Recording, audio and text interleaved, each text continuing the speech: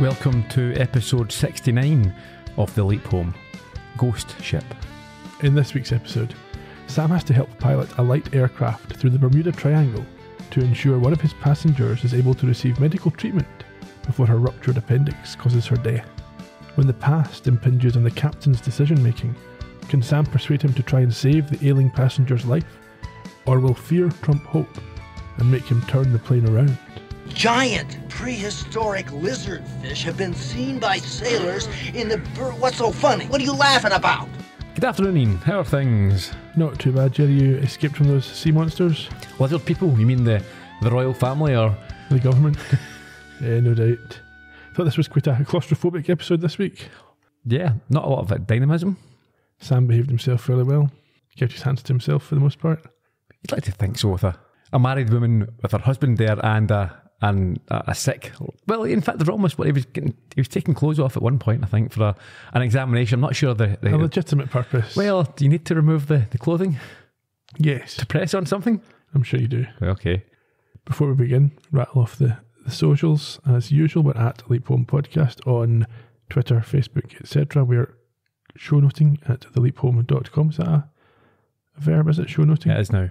And you can find each episode one week early over on the Columbo Podcast Productions YouTube channel. This was a, a quite a, a strange episode in, in many ways. Fairly unique, I thought. Oh, Fairly you- unique. You don't like that, do you? When there's degrees of uniqueness, they're all they're all technically unique. Alan Partridge. This one shared fewer characteristics with some of the other episodes than is maybe the standard. and a bit of uh, a role reversal when it comes to uh, nonsense and mumbo jumbo compared to previous weeks. Yes, we can get into this. Mm. But on the plus side, two extremely hot women. Is that what you look for in an episode? Yes, it's one of my. That's what Al looks for in an episode. Do you want to get going? Let's crack on.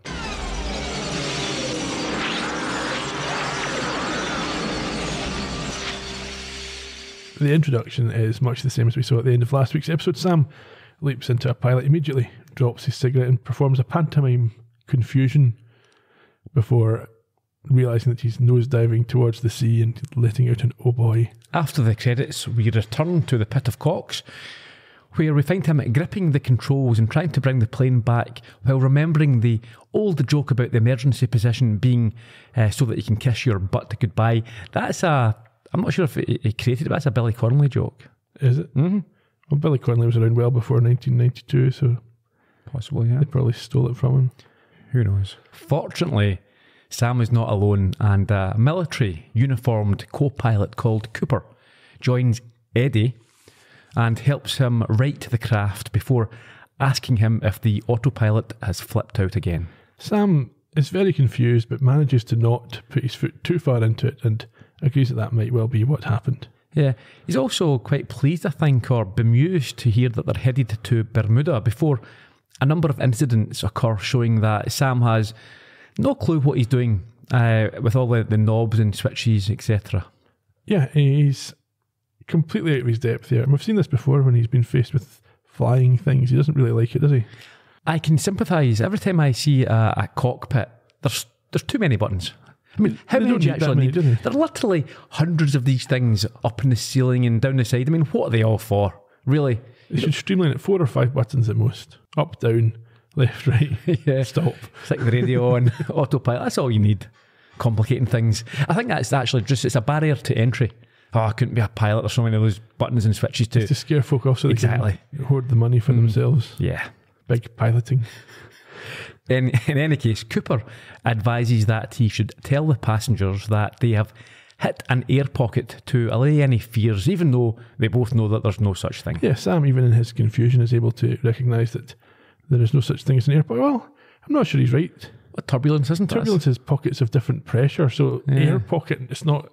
Hmm. I mean, it's not a pocket just of air, but it's it's air and it's a pocket. I don't know. Anyway, anyway, they both notice that the compasses are out of whack, and as Sam struggles to tune in the, I was going to say a radio, but I'm not sure. It's more of a like a sonar type. Uh, I don't know. It's a communication device, but it's not. You're not speaking to to someone directly at the tower. I don't think. you're picking up a signal. Yes. They call it something odd, like a big dog or a duck. I don't know. I wasn't really paying attention to all the jargon in this episode. I hope you were taking notes. No, I wasn't. Um, and they assume that they're now off course because they can't, or Sam can't, uh, you know, find this this signal. Sure. And Cooper indicates there's some kind of magnetic disturbance. However, at this point, they're interrupted by, as I mentioned, a very hot blonde air hostess. I think her name is Wendy. Yeah, she sticks her head through to check that everything is okay and suggests one of them come back and tell Junior that everything is fine, as both he and his bride look a bit pale. Now, this was a weird arc or a weird lack of character development or ch- even change of direction. Junior, as as we are about to find out, comes across immediately as a obnoxious arse, He does. and you'd expect him to be like that the entire episode. However, I think very quickly we find that he's, he's actually fine. He's not that I, I didn't really warm to him. yeah, I thought he was absolutely fine. I thought that he'd be. There's going to be more antagonism between him and his uh, his new wife. I thought that maybe he'd be more presented as being more domineering and abusive, and I think actually they both care for each other, and it's shown that. And there's no suggestion that there's the relationship is in any way unhealthy. No, but he does come across as a spoiled little rich kid. Yeah, but I expected that to continue. But after that, it starts off with that. Then after it, he's actually fine. He's asking, he's thankful. He's asking for help. He's not demand. He's not threatening anyone to be well, think- sacked. yeah, people have layers, don't they? Yeah. The fact that he's maybe a bit arrogant, a bit entitled, doesn't mean he doesn't also care for his wife and appreciate when she's been helped. Of course, but normally in a, a TV show, You get one dimensional characters, and he's not. Okay, that's fair. Cooper remarks that uh, Junior is as much of an ass as his daddy, which makes Wendy laugh, but reminds him that he could get fired. And we find out that uh, Wendy and Cooper are husband and wife. Yes, and I think to put that in context, Junior is the son of the guy who owns the plane. Or the airline, yeah. Well, no, he's a petroleum heir, so the guys, the the father's main work must be in Right, sure, yeah. so he must, this must be his private jet. And Al, I think later on says it's been kitted out for executive use. So I assume that Cooper and his wife are permanent staff, and maybe Sam is relatively recently added to that, from what we learn. Yeah, that sounds about right. yeah. Okay, Sam passes her on his way to the cabin and she asks what really happened and seems quite concerned but laughs again when is told about the air pocket. So she obviously knows that the air pocket isn't a thing according to, yeah, well, to she's them. probably been on enough flights to know what's going on. She then goes through to the cockpit and remarks to her husband that Sam looks a bit green around the gills and wet. So Hmm. again, reference to him being fairly new in the role. She also, I think, uh, there's a sort of weird dynamic here between her and uh, and Coop. She looks at him quite lovingly, Uh-huh. but he doesn't respond. And uh, you know, this is the first indication that he's other things going on. And I think she's a little bit concerned. Yeah, it's not his normal behaviour, maybe. Yeah, or maybe it is his normal behaviour. It's a, a frequent, you know. Yeah, well, hmm. talking about normal behaviour, Sam at this point gets a quick look at his reflection and for some reason tries to read his name tag in the mirror. Apparently, doesn't know how mirrors work. Yeah, he's completely forgotten that. And he's forgotten he can just look down and read the sign on his badge. Yeah, before he meets the obnoxious junior, he is complaining about his spilled drink and how that apparently never happens when he's his dad's on board. Sam reckons that's just lucky, hmm. not really having a clue what's going on. And as Junior goes off to freshen up, he suggests Sam reassures Michelle that they're not crashing. So in the cabin, Wendy comes out and takes the glass from Sam to do the, the top up. Obviously, that's her job and not the pilot's job. As he approaches Michelle and awkwardly offers her congratulations for the second time Yeah. after seeing a newlywed banner being displayed. Why would it not occur to him that he might have said this already? He never he never thinks about context when he leaps into somebody. He just No. reacts to things. hmm Anyway, she declines his offer of a new drink for herself and uh, takes a bit of a funny turn. Yeah, she collapses into a seat with what she calls stomach cramps. However, she quickly tries to cover it and asks Sam not to tell Junior, who returns as much of a dick as he was before and insists that his obviously reluctant wife take another drink. Now, th- at this point, I'm thinking, yeah, this is a, a domineering, abusive relationship. and yeah, because you're you're guided in that direction when she doesn't want him to know that she's not feeling well. yes. You're wondering why. And that's what I'm saying. It just seems odd that they make him out like this, but then very quickly that just, just gets dropped and he acts normally. Well, it may even be that that's a facade that he does keep up, but when he realizes his wife's genuinely ill, he drops it because he's genuinely concerned for her. Yeah. maybe. Anyway, Sam messes up again. He calls Wendy a stewardess. He, he already knows she's married to Cooper. So why is he talking about her in that? Um, No, but he's talking. Yeah, but he's talking to Junior. yeah, but he says the stewardess as if she's a stranger or Yeah. a member of staff. Yeah, yeah. Well, does he know her name at this point? How else would she refer? Would he Well, I refer suppose to? maybe he's yeah trying to cover for the Yeah. fact he doesn't. No, well, maybe it's, did Cooper say when she came into the cabin? I don't know, but also we do know that Sam is new, so he's not, you know, necessarily in you know close terms with both of them. Yeah, like he, Junior does say to him that's a strange way to refer to Wendy. Yeah, Anyhow, he insists that his wife has another drink and sends Sam to get it, and he doubles down on this questionable behaviour by referring to Michelle that these pilots act like they're doing you a favour if you ask for anything other than to be flown from point A to point B. That's literally all their job is. He's he's a he's a pilot. He's not a steward. yeah.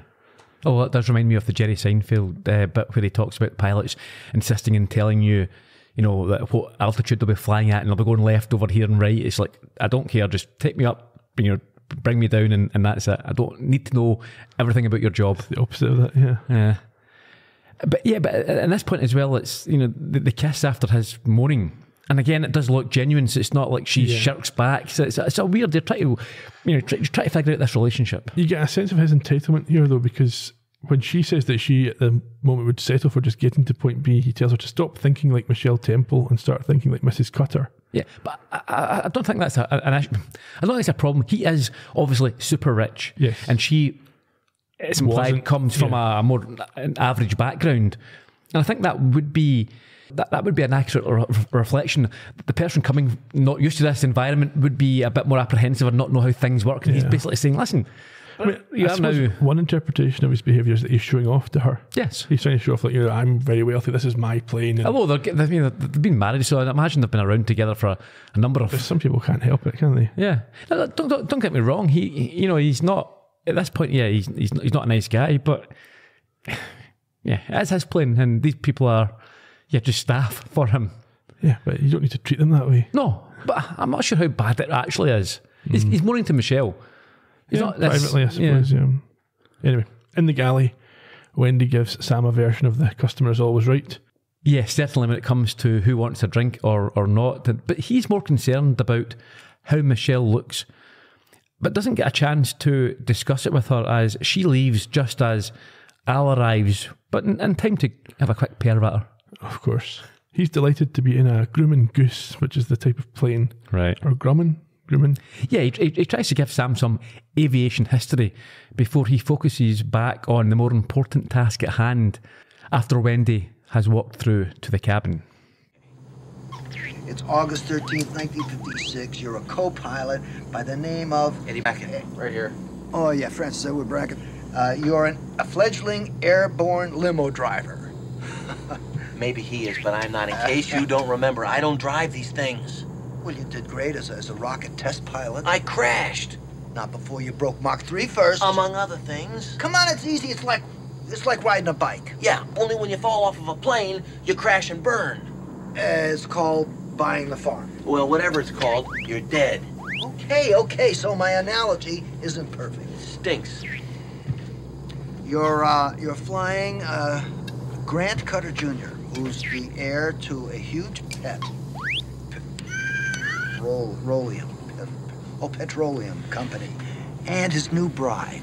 To Not Bermuda, nice? I know that. Yeah, Yes, o- it's nice. Only you never get there. crash. No, calm down. We You crash? don't, no, you don't crash. You turn around and you go back to Norwich, Virginia, which is where you took off from. Why, we have some kind of engine trouble or something. Is that it? Well, I would imagine there's some kind of a problem, mechanical, or else why why would you go back? Ex- except, Except, except what? well, uh, it's only an hour to Bermuda, and it's four hours back to Norwich, Virginia. So why, you know, if you got a problem, go all the way back. Why don't we ask Ziggy? Uh, oh, ask, Ziggy. ask Ziggy. Yeah. Okay. well, okay, I'll ask Ziggy, but I, I'm having a lot of problems. What? What's wrong with Uh, Ziggy says, I don't know, you got a sick pass. Huh? Anger. Pass. Test sick- it. Michelle, pass. yeah, she's got a stomach ache. I know that. Oh, no, no. She's got, oh, she's got a cute Huh? appen, appendicitis. Appendicitis. Appendicitis. Appendicitis. Appendicitis. Appendicitis? What's cute about that? Al, would you? I know they're trying to make Al a sort of the, the comedy foil, but why would Al not know what appendicitis or how to pronounce it? Yeah, It's not a obscure word, especially for a scientist. That's right. And how often are they going to do the joke where the text runs out and it's Mm. the middle of a word? Every week, as often as we're going to discuss the fact that Sam's inconsistent and I'm picturing them sitting in the writer's room going, ha, I've got an idea for this Yeah. week. What if he's trying to say petroleum, but it stops after pet? and they'll think he's got a huge bunny rabbit. anyway, Just after what we heard, the two of them realise that the plane is turning, so Sam heads into the cockpit to investigate. Coop still seems uneasy when Sam returns to his seat and he tells him they have no choice but to turn around as all their navigation controls are malfunctioning and going west is better than east, where they might miss Bermuda. Yeah, he's concerned that the autopilot's taking them off track and that they aren't on track for Bermuda anymore after all, and that going back the way you'll definitely find land eventually. However, Sam notes that the compass seems to have settled, but a slightly embarrassed Coop tells him that that's because they have left the Bermuda Triangle. Ooh. Oh, I think he can contradict himself a little bit here. He says that they should get out of the triangle shortly. So maybe it's because they're leaving. It's improving the situation. Yeah. And we'll be back home in three and a half hours. Sam's concerned because obviously he wants Michelle looked after. Yeah, he points out they're only an hour from Bermuda and doesn't accept that they simply can't see it. Yeah, that's not persuasive to, to Cooper, and not even when he's told about Michelle's prognosis is he persuaded to change his plan. No, he, he doesn't argue necessarily with the diagnosis. I, I don't know why not, but doesn't change his mind about turning back and orders him to head to the cabin and check on her, and also to tell Junior that the, that there's a change of plan due to mechanical problems. So on the way through, we see Al in the galley struggling with his handling, blaming the Bermuda Triangle. Now, this is where I'm seeing a sort of reversal of uh, attitudes here. Sam is now being the correctly being the skeptic, and Al is trying to convince him that that the phenomenon Phenomenon. Do, do, do, is genuine. I think we heard that at the top of the podcast. So after the few weeks ago with uh, Sam believing in psychics, when there was a, a hot chick he wanted to bang, and Al Well- thinking it was nonsense, now he believes this garbage, and Sam is being more scientific. Maybe the Bermuda Triangle just needs to be more vulnerable. After this nonsense, Ziggy comes back online and they find out that they have, in fact, flown out of the triangle, which Al, for some reason, takes as confirmation that he was right. Sam, however, has another explanation. What's that? He says it was the circling UFO that's caused this. this leads the, the gullible Al to scramble and check what's going on outside. Sam also asks about Michelle's outcome in the original timeline. Yeah, she dies. That's not good, is it? Well, it's not ideal. She died an hour before landing back in, I think it's Norwich, is that right? Yes. So Sam realises that they have to get her to Bermuda and insists that Ziggy must direct them. Just then, Wendy comes back to say that Sam needs to take another look at Michelle. Yeah, she's in a, a bad way. So in the cabin, we find she is indeed not well. She's lying back and sweating. I think, I think she's got a bit of a fever on the go. She does. with Junior beside her, but she tries to make a joke about uh, being a married woman when Sam asked to look at her. Also, why would they just accept Sam looking at her? A pilot, yep. To be fair, we do learn that he spent a year at medical school. But would they know that? well, Wendy knows that. She tells them right now. Yeah, but why would uh, Michelle and Junior know that and be, Maybe just from his demeanour. He comes across as knowing what he's talking about. I'll unbutton your dress here for to slip my hand in? There we go. Uh, and also, we find out that Sam's a married man, I think, He's got a wedding ring on, yes. and a kid, Jew. we won't hear that yet, but we do learn that later. So he opens her dress and uh, finds a swelling, fortunately, not in his own undergarments. But in hers, and tries to assure her and Junior that she'll be fine, but does have appendicitis. Michelle apologises at this point for not mentioning that she was in pain before getting on board the plane. Yeah, and um, of course, Junior wants to be convinced. Well, of Sam's credentials, yes, but he does seem visibly concerned. Yeah, yeah. And he tells her there's nothing to apologise for. And at this point, Wendy, she starts to mention that they aren't going to Bermuda, but Sam cuts her off and goes to get some pain How does she know she's not been in the cockpit since they turned the plane around? Ha- Hajm, you sure? I don't think so. She was Sam was in the cockpit as soon as it started to turn, and she wasn't there. Yeah. Unless Cooper said to her way earlier, like, "If this doesn't get better, I'm turning the plane around," and she's realised. Maybe either that We or give them credit for that, I suppose. aliens. UFOs have put the message in her head that they're turning back to north. Anyway, Sam won't let her tell them that's happening because I think he still thinks he can persuade Cooper that Bermuda is the answer.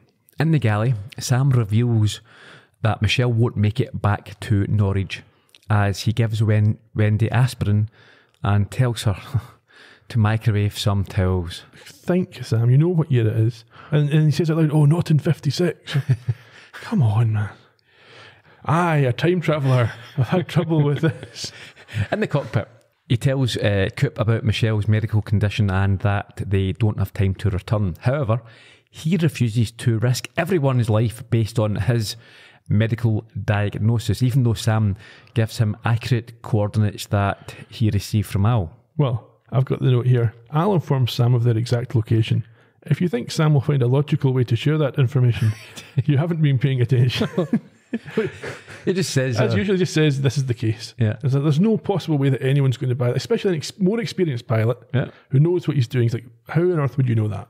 yeah, I mean, as well as a, a, a less experienced pilot who's now also part doctor. Yeah, he's an expert in everything all of a sudden. Anyway, Cooper quite rightly says to him, look, I'm smarter than you. I've done this more and I can't tell. So what? where are you getting this from? And when Al demands an urgent confab in the galley, we find out why he has this attitude as we see him adjust the radio and then go into a bit of a trance. Lieutenant, my compass is spinning faster than a West Texas twister.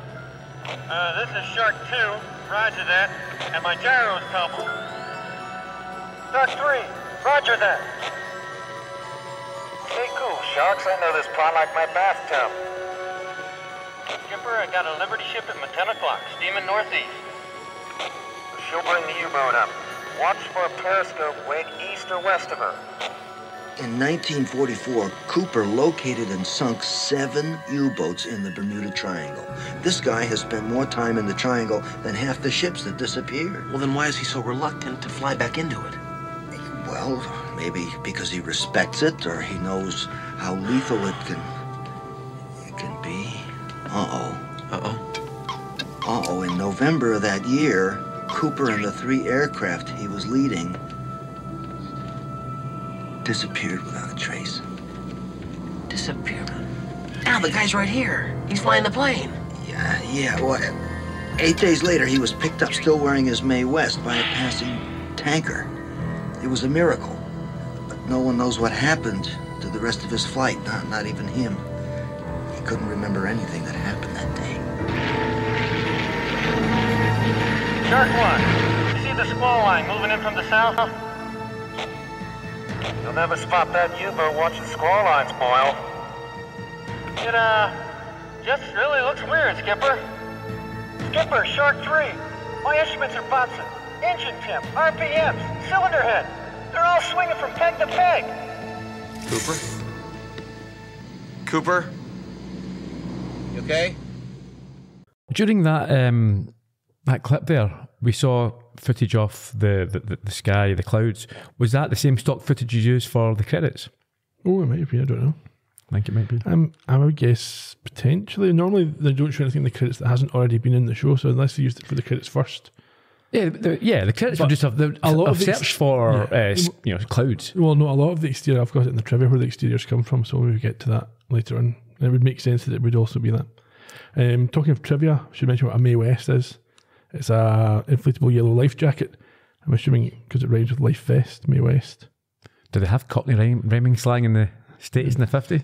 Well, they've got to have a reason to name things. Why would else would we call them Mae West? Maybe it inflates and it's quite buxom. Well, that's, that's another possibility. Who knows? I'm not sure if she's not notoriously buxom, mind you. Anyway, I don't know. It's, it's bright yellow, and it's, it was a f- model that was used for that period of time. okay.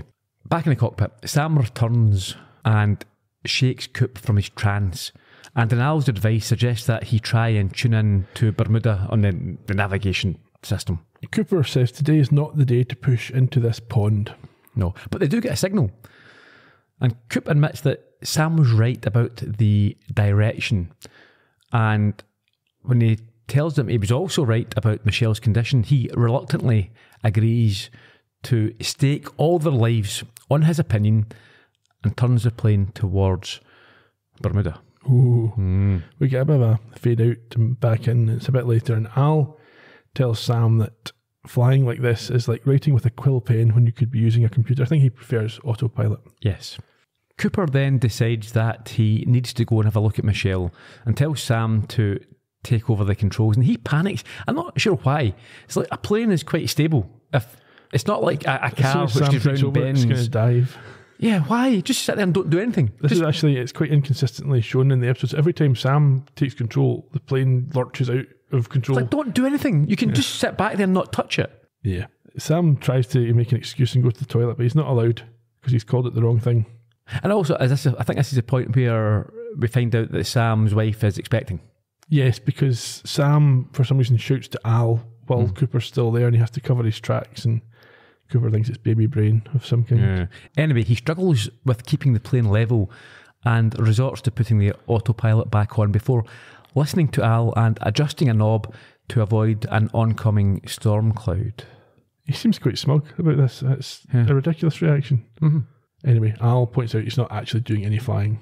Back in the cabin, Michelle is feeling slightly better due to the pain relief and towels, and Coop tells her that they will be landing in Bermuda in about an hour. She's heard that before, quite some time ago. Yes. But he explains to them that they've had to navigate around some thunder bumpers. Unfortunately, in the cockpit, Al informs Sam that although the chances of Michelle surviving have improved, it's by you know no means a certainty, and then points out that there's a Liberty ship made from concrete below. That doesn't sound very Uh. I wouldn't be building a ship from, but maybe I don't know. It probably is accurate. But a strange thing to mention if it was nonsense. That's true. Sam and Al both see this ship, and then Cooper returns and sits on or in Al. Yeah, he turns off the autopilot and is told about the deviation to avoid the, the, the thunder bumper. He's also told about this Liberty ship, but when he looks out the window, there's nothing to be seen. Ooh. This obviously makes him feel very uneasy again. Yeah. I should say as well, when he turned off the autopilot, he told Sam that if he keeps flying with black boxes, he'll end up in one. So obviously, Sam's not broken character too much there by Yeah. going back to that facility. But when Sam leaves to go back through the cabin again, Coop seems to enter this trance and gets these aural flashbacks once more, which concerns the watching Al, who then cries, We're back, as the compass goes haywire. I should note that the phantom calls that he's hearing do reference a Liberty ship specifically. Yeah. Also, We're back is a nod to uh, Poltergeist, I believe. Okay. They're back, I think she says, a little girl. Can't remember. In the cabin, Sam looks in on Michelle, who reports that the pain has now reduced to a dull ache. Yeah, everyone seems to be doing fine and they think it's just a, a food related problem, but Sam is not convinced and wants a blanket for her as she is freezing cold, even though everyone else is roasting. When Sam asks Wendy to get her some water, Grant adds on a, a rider to that order, asking for a scotch, which leads to Sam chastising him quite aggressively. I thought it was a bit out of order here. I mean, back in the day, a stiff drink is often what you'd be prescribed. Well, I think maybe, but I don't think Grant's tone is like, I need a scotch because this is nerve wracking. It's mm-hmm. like, you're getting drinks, get me a drink. And you'd, I think Sam is aware that this is not getting better. Yeah. So Grant, I think, is celebrating that Michelle feels better, mm-hmm. and Sam's trying to reiterate to him that Well, she's but not getting better. yeah, here. but see, that's, uh, uh, that's out of Without order then because yeah. Sam is leading them to believe that it's, or at this point, he thinks it's fine and Sam's not said anything else. So Yeah, he should have said, look, she's mm. not getting better, yeah. But maybe didn't want to scare them. In the galley, Wendy joins Sam, and we hear why Michelle appears to have improved, and it's not good news. If you're looking for the aspirin, I've got it. I'm looking for an angio catheter. A what? An angio. 956. I thought you said she was getting better. Her appendix is burst. Oh, God. Yeah, that's why the pain is gone. She's going into shock now. Her blood pressure's dropping, and I've got to get a saline IV into her. And there's no saline solution, and there's no damn IV. Did, did you boil that water? Yeah, for tea, but it's cold. I can heat it No, up. no, no, no, wait a second, wait a second. Give me some salt, okay? And put another pot of water on to boil. We'll use the boiling water to sterilize the syringe, and and whatever else we can find to improvise as an IV. I need tubing and a funnel of some kind. I've got something.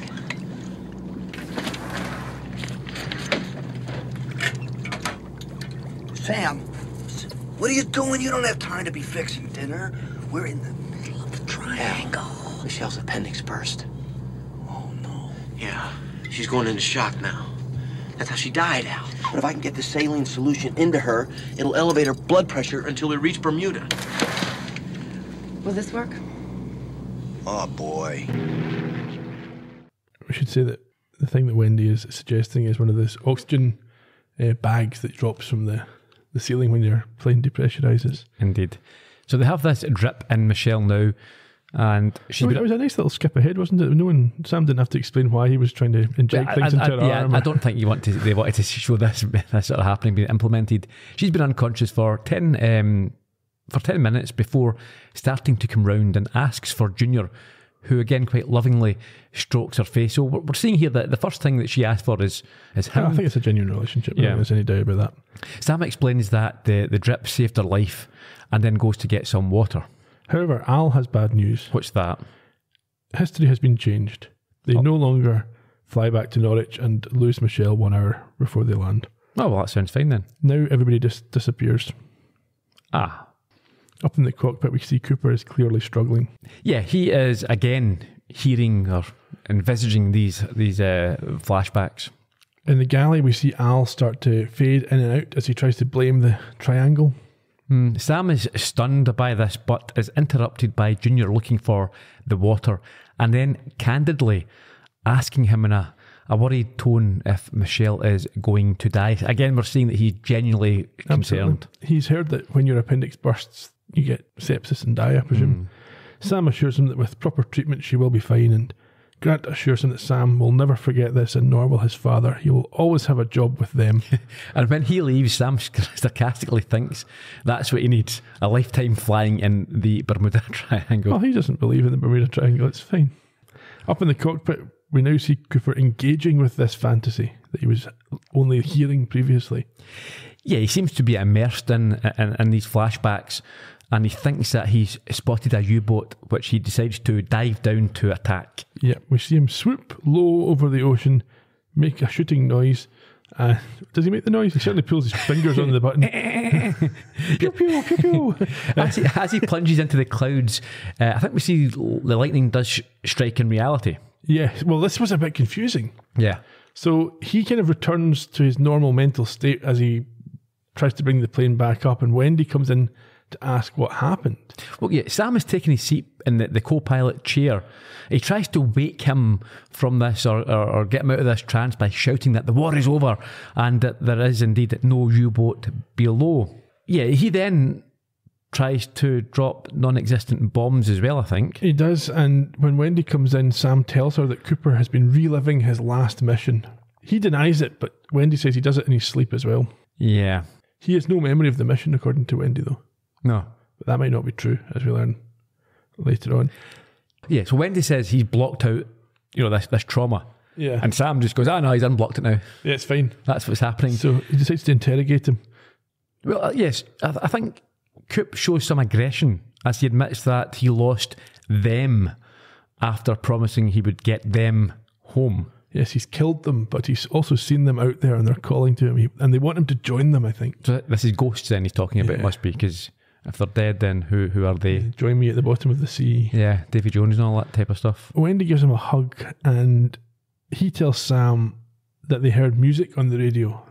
But now, is he talking about now or is he talking about then? Because Yeah, because Sam sort of hears it as well. I think. Yeah. No, but that's. I think Sam hears actual music and then thinks that perhaps when Coop heard it, he that thought it was. into the Yeah. yeah. At this point, there's a reference to being hit by lightning, and I think they actually are hit by lightning, Yeah, Coop mentions he's almost predicting what's about to happen. and they are hit by lightning. And Wendy hits the button to kill the fire in the engine. The strike has caused the, the plane to plunge again, and Sam struggles to right it and shouts for Coop to help, but he again is in this sort of trance, so he's not responding. Sam tells him that the storm isn't his fault, and meanwhile we see Grant and Michelle hanging on to one another for dear life through in the cabin. Coop's having a, a breakdown. Yes, but eventually Sam pulls him out of it through sheer force of yelling.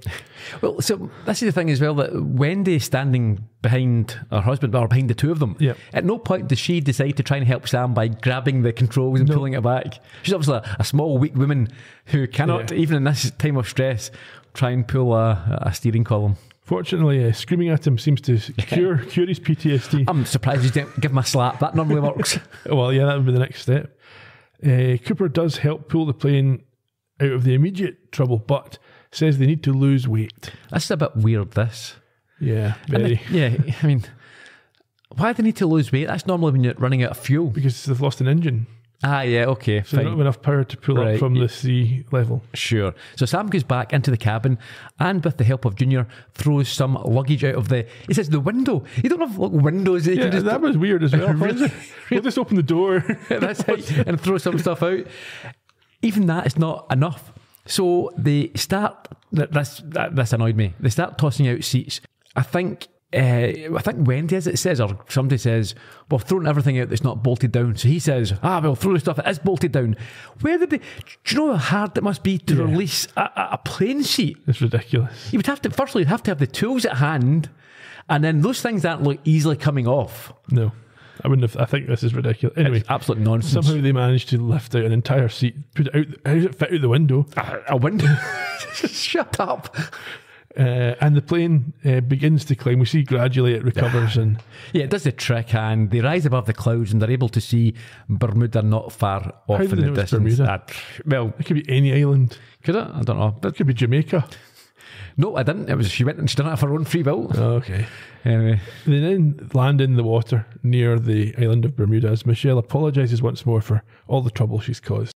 Wendy tells her she didn't cause the storm, and Sam notes that everything is working again. Michelle is also looking comfortable enough, considering she's got a burst appendix. Yeah, you would think she would be a bit more concerned. Yeah. Al shows up again and says that technically they're out of the triangle, and that's why everything is working. But it's not Ziggy's opinion. I think Ziggy thinks it's a, a a power failure. But as they're heading to safety, Sam is able to question both Coop and Al for a final time on their belief in the supposed paranormal activity. You really believe in the Bermuda Triangle, don't you? Yes. I don't know. I swear my boys were out there flying just off our wing. And could that have all been my imagination? No. Yes. I mean, the instruments, the Liberty ship, and everything happening again? Coincidence are scientifically explainable. Awesome. Look, it's obvious that there's some sort of an electromagnetic force operating in this area, but that doesn't make it supernatural. I mean, isn't the North Pole an electromagnetic disturbance? But we don't say that it's caused by ghosts. What about the Liberty ship? In 1956, there had to be a few Liberty ships still in use, right?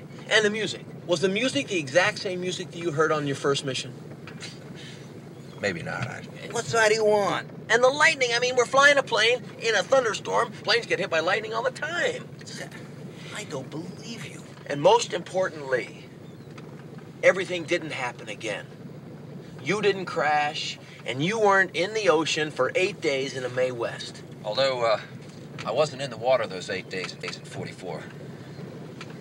I was by the USS Cyclops the day I went in. Seven days later, she was torpedoed. Went down with everyone but me.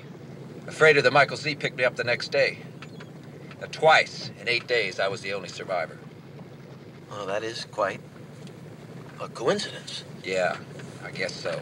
Uh, Sam, the USS Cyclops disappeared in the Bermuda Triangle in 1918. 26 years before Cooper was picked up.